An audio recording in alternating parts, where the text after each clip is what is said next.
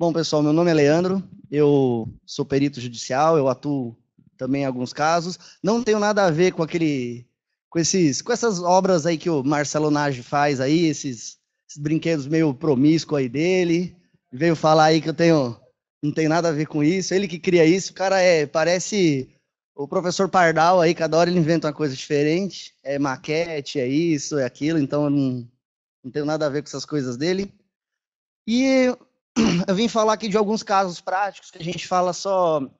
É, muita, eu sempre passo essa parte de cadeia de custódia, explica essas coisas, mas realmente ver qual é a praticidade disso, o que, que realmente acontece num, num, ambiente real. Então eu vou, vou passar algumas coisas desse, nesse sentido. É, eu sou perito judicial, eu atuo para algumas associações. Junto com o Marcelo, a gente faz alguns trabalhos também no quarto DIG para o DEIC aqui. A gente está em alguns casos, atuando nessa parte também. A gente atua, eu atuo para desde TRT, eu vi o pessoal, a maioria né, não, não costuma pegar muito a questão de perícia aí na, na, área trabalhista, eu faço, tenho quase 200 nomeações aí, um pouco mais de 200, atuo na parte de trabalhista, é 500, falaram, Marcelo falou de 800 reais, né, é tão triste que às vezes é até 500 reais, é menos que 800, a gente reclamava do 800, aí outro dia a gente acabou sofrendo mais, né, nesse sentido, ele falou até daquela questão dos 480 mil reais, foi um processo que a gente pegou, mas a gente não foi o perito que ganhou os 480 mil. A gente é o perito, o assistente técnico do outro lado lá, entendeu? E a gente viu essa nomeação, eu falei, aí, Naj, imagina você ganhar uma, uma, uma dessa aí de 480 mil, você já está, pelo menos aí, o quê? Três meses de perícia resolvida da sua vida, né? Então, é, a gente... É, os caras ganham bem, vocês estão achando aí, é, o negócio é brincadeira, não é, não é tudo isso, não é mais. Mas o, a, a, e fora esse tipo de trabalho, eu atuo para uma ONG chamada Marias da Internet também. É uma ONG que a gente faz parte é, junto com a PECOF. Tem um, um, amigo nosso ali também, que é de São Paulo, também é da, da associação aí, é, que, que, que, ajuda nessa parte aí também de vítimas, de mulheres vítimas da internet. Eu acho que existe esse trabalho social muito legal e é muito importante fazer. Eu vi que a doutora Rúbia também falou da questão de desse tipo de, de palestra que ela faz em escolas sobre crimes e coisas do tipo. Eu fiz durante um tempo junto com o pessoal do Ministério Público também. Isso é muito interessante. Eu acho que é, muita gente aí pode estar atuando e ajudando outras pessoas na parte de crime da internet. Então, eu acho que esse, esses trabalhos voluntários são muito importantes. Eu coloquei um pouco é, essa questão que vem todo mundo, acho que desde a questão do Éder aí no começo até o final, a gente estava falando sobre é, essa parte de cyber e a questão de perícia, isso envolve. Há dois dias a gente vem falando exatamente disso. O que o Éder fez, como que eu vou trabalhar na parte de perícia se eu não sei um ataque, como eu vou trabalhar com isso é, se, eu, se eu não sei como, como funciona ali um ataque, uma conexão reversa, como eu explorei uma máquina. Eu vim dessa área, eu vim da área de cyber, vim da área de pentest, da parte de red team, esse era meu, meu background, foi esse. E aí eu fui migrando para a parte de perícia. Hoje a gente atua com as duas coisas, mas meu foco maior hoje é a parte de perícia. É, a, a, perícia, a gente fica nessa de Red Team, Blue Team, aí o Forense Team, tem a questão de resposta a incidente, que é extremamente importante, é, a parte de perícia computacional. A gente viu também, eu não lembro qual dos palestrantes falando a diferença entre investigação e perícia, são duas coisas diferentes, mas tem alguns casos que você trabalha com, com investigação mesmo voltada para a área forense. Então, é, aí a questão, dá para saber tudo isso, a gente não, não consegue, não adianta a gente, ah, eu vou entender de programação, eu vou entender da parte de rede, eu vou fazer tudo, não, não dá para a gente fazer tudo, tanto que a gente pega, às vezes, casos que envolvem questões de sistema, parte de programação, Nage é muito bom, o cara é programador, então ele ajuda muito nesse sentido. Então a gente, é, por isso que essa ideia de montar times, ter esse networking, isso é muito importante. Meu start foi essa questão de pentest, eu venho da área de infra, eu sou sócio de uma, de uma empresa uh, chamada DW Brasil, a gente atua desde a, de, de questões de suporte técnico, é, até a parte de infraestrutura, envolve também a parte de segurança, assessment.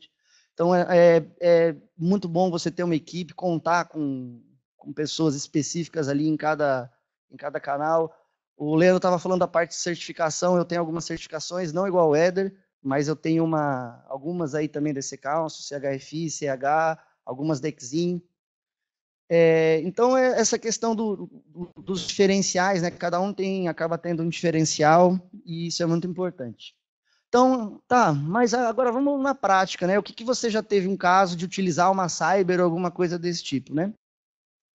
Eu tive uns casos que, que veio para a gente, era eles, é, um escritório de advocacia falou assim, ó, houve um problema com uma pessoa, ela está sendo acusada de um crime e esse crime partiu do IP da casa dela e a gente, ela, ela tá dizendo que não foi ela, ela no momento aí tá, tá relatando para a gente que, que não, não aconteceu nada dali da casa dela, ela está desesperada e a gente não sabe o que fazer. Teve a quebra de sigilo de IP, partiu da casa dela, endereço de cadastro. O que, que a gente pode fazer? Foi aí que a gente falou: bom, é, a gente foi até a casa dela mesmo, como assistente técnico dela contratado.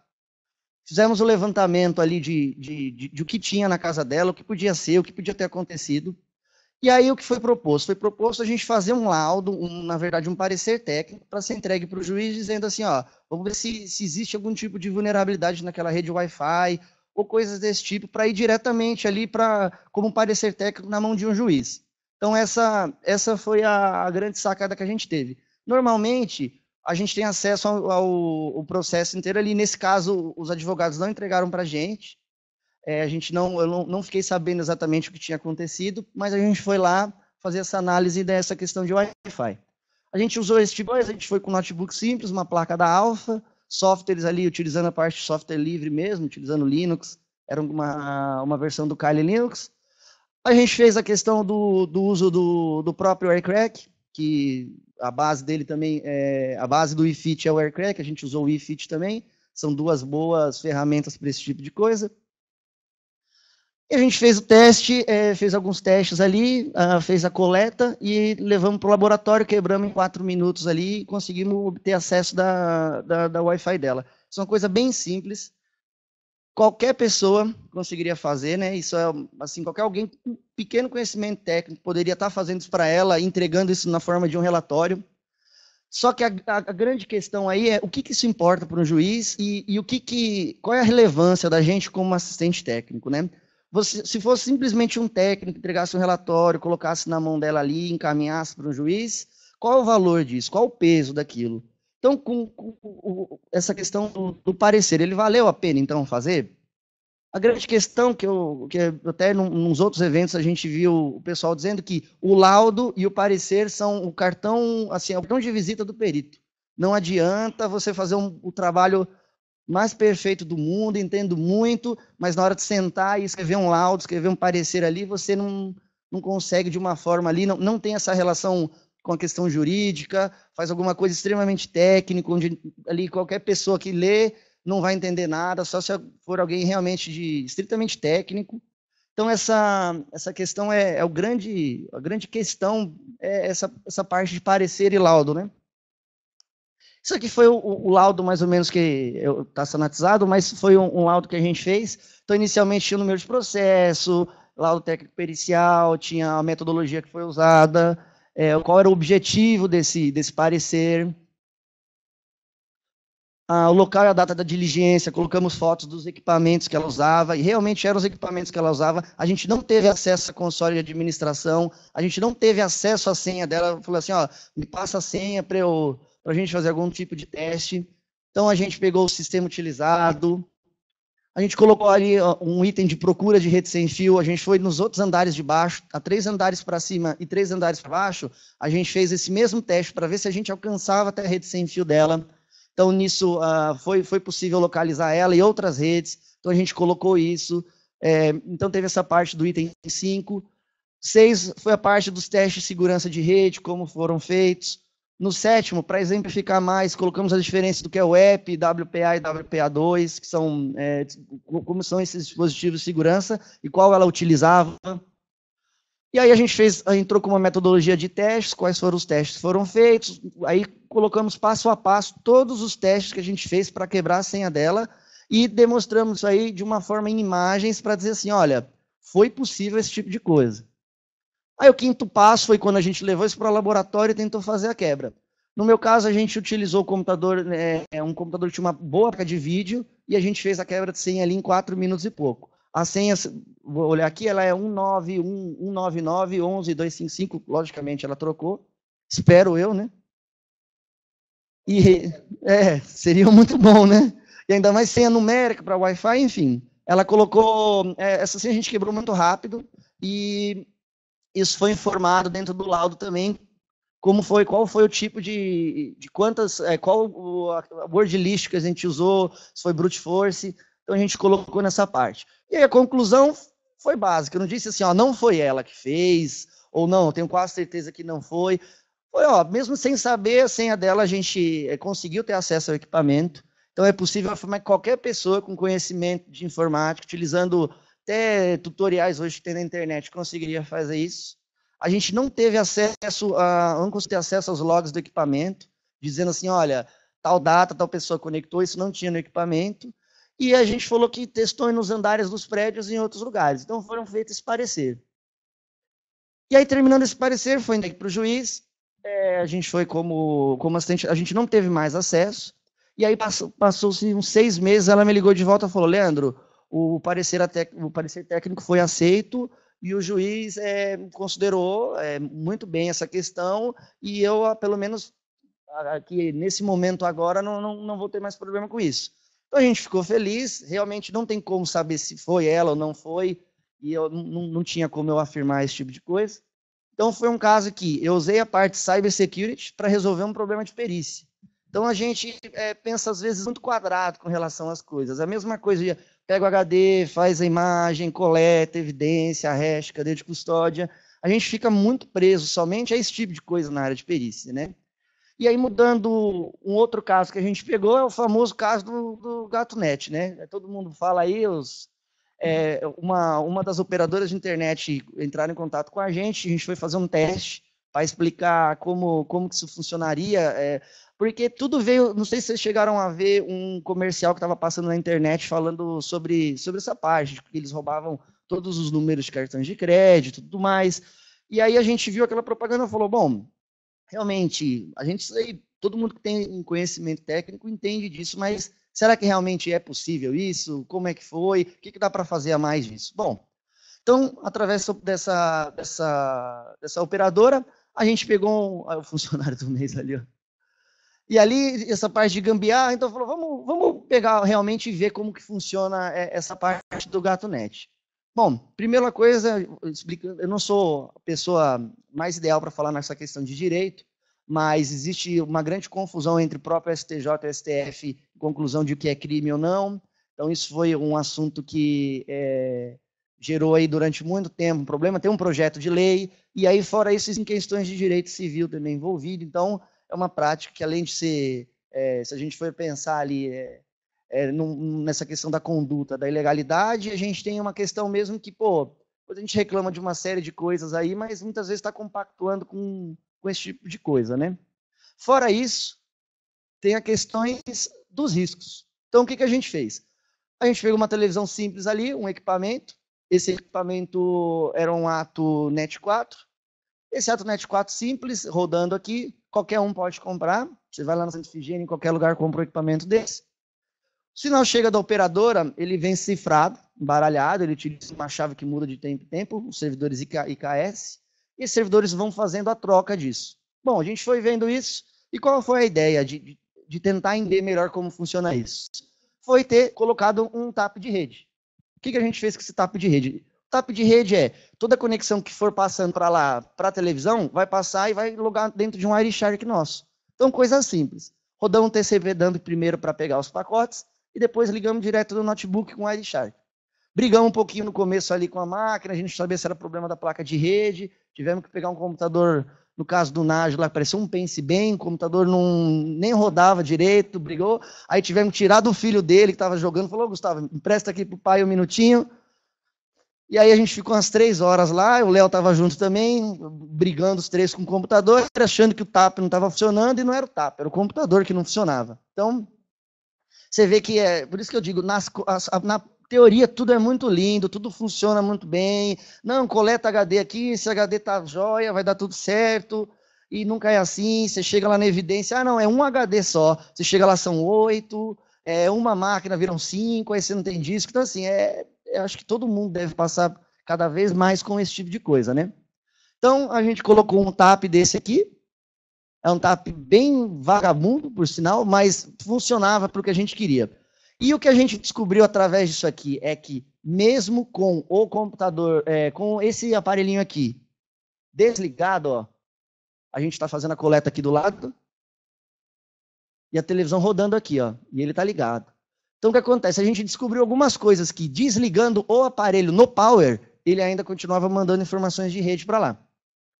Então, a gente parou e pensou falou, cara, por que esse negócio maluco fica mandando informação mesmo depois de desligado? O vídeo é bem amador, tá, pessoal? É, eu não sei se era o Léo que estava segurando, mas era é Parkinson, é normal. E aí, tá vendo? Ó, mesmo com o computador, nesse caso aqui, ele estava rodando, aí você desliga e ele continua ainda ali mandando um monte de informação de rede através. O equipamento está desligado. Então, assim, opa, peraí, assim, por que, que ele fica trocando IKS, coisas desse tipo de chave, com o equipamento desligado? A gente pensou, será que ele faz isso? Porque no momento que ele, é, para ele ficar atualizando os canais e você sempre ligar a televisão ali, os canais estão tá atualizados, você toda essa, toda essa relação, a gente pensou muito nisso, falou, cara, tem alguma coisa muito estranha nisso, entendeu? E, e aí a gente ficou analisando e falou, cara, por quê? Né? Qual é o motivo? Se ele está fazendo isso, se ele está pegando informação da minha rede aqui mandando para fora, o que isso vai mudar? Entendeu? É, ele ligado, ele desligado. Então a gente ficou meio uma dúvida com, com relação a esse, com esse equipamento. E aí a gente pensou o quê? Né, através desse ato, nesse ato 4. Então, a gente pode utilizar um monte de. Todo mundo pode estar utilizando ali esse equipamento para fazer um ataque de DOS em algum lugar. Então, você está achando que está trocando de canal lá, vendo seu equipamento está atacando uma outra rede. Isso é muito, muito possível de acontecer. A gente tem hoje essas redes de, de botnet Mirai, que afeta a IoT, fazem isso, é câmera atacando não sei aonde, é micro-ondas atacando não sei aonde. Então, a gente tem hoje aí uma série de coisas. É, e é verdade, cara, micro-ondas, geladeira, que vocês não imaginam o que acontece com a parte da, dessa botnet Mirai.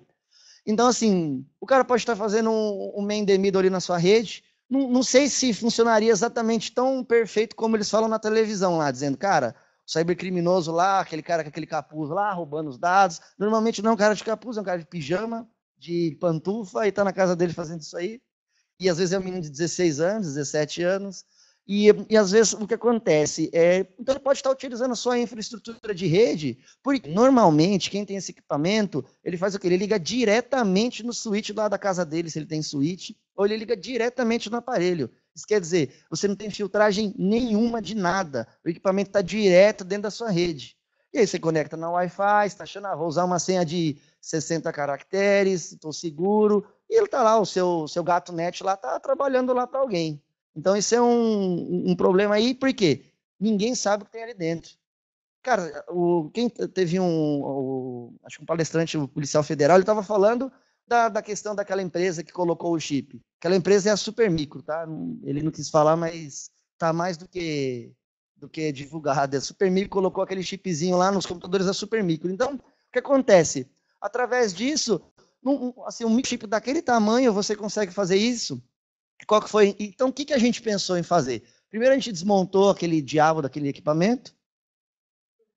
E a gente teve a ideia de fazer o quê? Utilizar uma câmera do tipo do, do Raspberry Pi. Aí o que, que a gente fez? Colocamos um Raspberry Pi atrás desse equipamento ligado nele.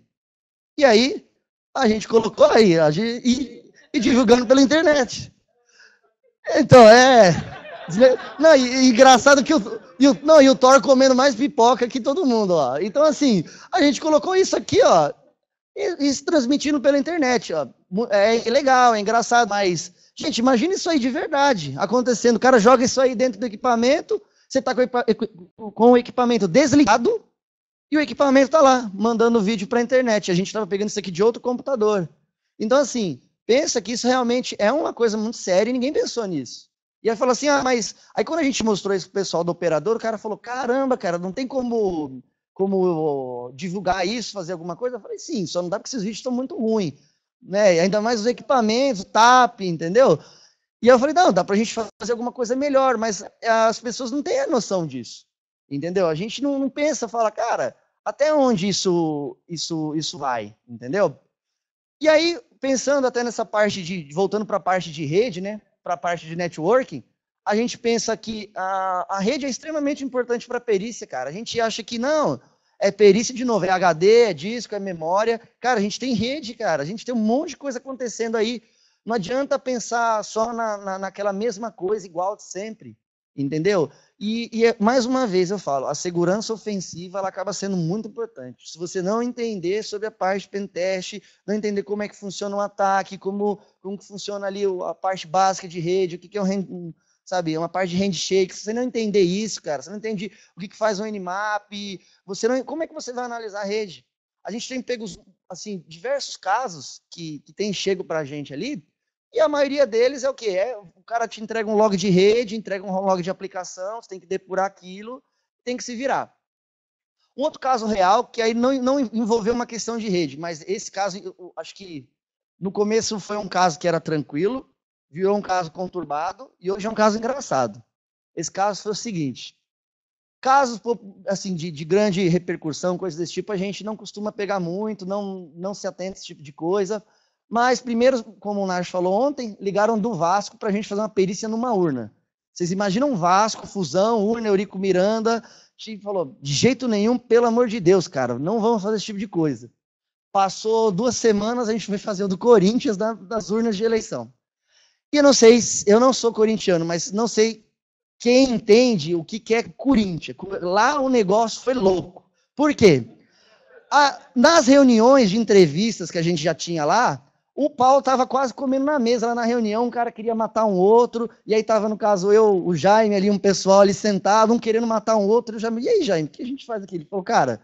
E aí a gente foi contratado para fazer a, a, auditoria da urna da eleição do Corinthians. Ok. Então a gente foi lá, problema, logicamente, e aí começou. No, no, no começo, o nosso laudo, ninguém estava assim, nem aí para nada que a gente estava fazendo. A gente ia lá, observava, fizemos levantamentos nos APKs, eh, fizemos diversas reuniões com o pessoal que estava levando as urnas, a empresa que garantia a urna. Até aí, ninguém pensava em mim, os meninos, não, esses meninos sabiam o que a gente estava fazendo lá, nem ligava. Até que aconteceu um problema. No dia da eleição, tudo funcionando bem, as coisas tranquilo, tiramos o hash, lacramos equipamento, e a gente, no caso, ali estava fazendo o quê? Só a parte de, de vistoria, a parte de auditoria. A gente não era da empresa que estava fazendo a votação e muito menos do Corinthians. Graças a Deus. E aí, o que acontece? Existia um, problema que, no final da eleição, sabem como que é, lá começou um problema, e a, aí minha sorte foi que eu tinha uma viagem marcada, e eu abandonei todo mundo e fui embora, mas eles ficaram. E aí eles ficaram, aconteceu um quebra-pau absurdo lá, voando o computador, é, um monte de cara, igual o Naj falou, cortando, rasgando ali o computador, o notebook, como se fosse folha.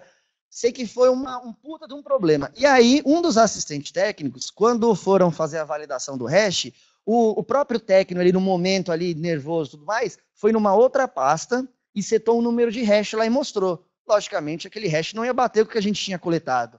Ah, pronto. A partir daí, foi entrado com uma ação judicial e aí vem quem? Própria foi mandado para o Ministério Público e eles falaram: não, a gente quer apuração disso e tudo mais. Aí os meninos que não eram importantes, que ninguém queria saber de nada, agora não. Pelo amor de Deus, agora a gente precisa saber o que aconteceu. Aí o nosso parecer técnico, que não tinha força nenhuma, virou a salvação de todo mundo. Porque se a gente manda aquelas urnas para o IC lá, para o Instituto Criminalístico, não ia acontecer nada, porque assim, não, eles não estavam ali na hora, eles não participaram do processo, eles não viram o que ia acontecer. Não ia dar nada, entendeu? E ali, pronto, agora os meninos, era, a gente vai para lá, é desembargador que chama para cá, vai para onde? Vai para Corinthians, vai para a empresa, a própria empresa de treinamento desesperada. E aí a gente fez o, o, o processo ali. Então, aí foi onde a gente até foi, a perícia particular destaca indícios de fraude de eleição corintiana. E é engraçado, né, que você vai ver os comentários dessa matéria, é sempre a mesma coisa. É, os caras estão compactuados com o Andrés. O Andrés aí tá pagando os caras, esse ladrão, não sei o quê. Então, exato, é, todo mundo ganha 50 mil. Eu falei, não, você ganha 50 mil? Ô, Jaime, onde, onde... Aí a gente até se perguntou, falou, cara... E, então, nesse momento, a, a perícia foi totalmente importante ali. A conclusão nossa ali foi bem básica, falou, cara, primeiro que o sistema de votação era Wi-Fi. Então, assim, já sabemos, não precisa nem explicar muito o que é fazer um layout lá. Eu falei, bom, se quiser, não tinha nem votação lá na hora. Porque a urna era com tablets, né? Que utilizavam o Wi-Fi para se comunicar com, com o servidor. A empresa de votação é uma empresa séria, mas assim, é, não tem um conhecimento grande técnico ali, não, não sabe os riscos e os perigos. Eles estão acostumados a fazer eleição para coisas menores, para coisas de menos, assim, não, se para a própria urna eletrônica hoje a gente já tem um, N tipos de coisa, várias questões, imagina um caso desse, entendeu? Então, ainda mais para se tratar de Corinthians, cara, foi um problema lá, a gente teve que fazer o laudo, entregar, mandar, e aí foi, a gente testou que não houve nenhum tipo de violação, assim, não houve nada, não houve indício nenhum desse tipo de coisa. E aí, muitas coisas que a gente pegou também era com questões de rede, né? Então, é uma, uma, dica final nessa questão de flows e logs, né? A gente, flows são é, quando a gente faz a coleta de redes ali do começo ao inteiro. Isso é extremamente importante para essa área pericial de rede. Então, quando você tem isso, é, é muito bom. Você consegue ter, ter ali o, o, trabalho inteiro que aconteceu dentro da rede. Então, para um, um perito analisar isso é muito fácil. Quando você tem questões de logs ali, é muito importante, porque às vezes você chega para o cara, o cara teve uma aplicação que foi que houve uma fraude, você periciar uma aplicação, o cara fala, não, aqui não tem log nenhum. Você fala, cara, fazer o que aqui?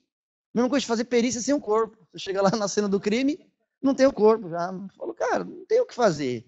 Entendeu? É, tem coisas ali que não dá. Então, é você pensar nessa questão de, de, de dessa, de coleta física, é, essa questão de perícia versus investigação, então, assim, é, CIEM, IDS, IPS, Flows, tudo que você tiver ali que te gere log, te gere evidência de alguma coisa, é uma forma de você trabalhar.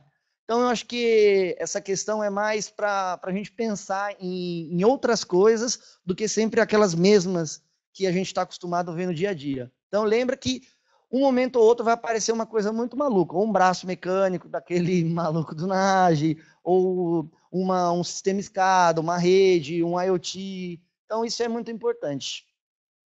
Bom, fica o meu contato aí. Se alguém tiver alguma dúvida, alguma coisa, estou por aí desde ontem às 7 horas da manhã, né, Renan? O meu não tem brinde, tem nada. Não tem. É triste. Tá bom. Sorteio aquele vídeo. É, verdade. O pessoal gostou do vídeo, cara. Demorou. Valeu. Pessoal, uma salva de palmas pro, pro Leandro. Bom demais.